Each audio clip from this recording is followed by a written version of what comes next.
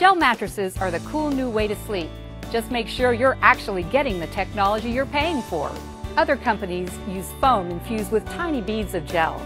Englander uses patented gel cylinders to cool the body. There's more gel in this little square than in our competitor's entire mattress. Our top of the line Sapphire E-Gel has 4,000 cooling gel cylinders to regulate body temperature.